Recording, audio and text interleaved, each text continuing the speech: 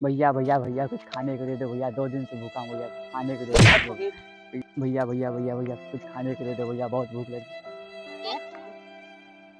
बब्बू कुछ खाने को दे दो।